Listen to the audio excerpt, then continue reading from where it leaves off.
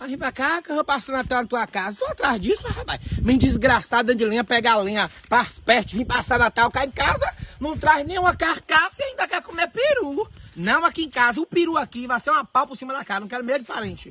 Não traz toalha, não traz escova de dente, não traz pasta, quer chegar mandando na sua casa, diz que vem sozinho, a avó traz os netos, a filha traz os filhos, o marido, os vizinhos. Minha casa aqui é albergue noturno ou é brega de puteiro sem quenga?